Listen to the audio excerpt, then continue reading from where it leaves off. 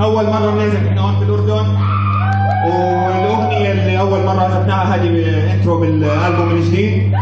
وهذه كانت Ignorant is what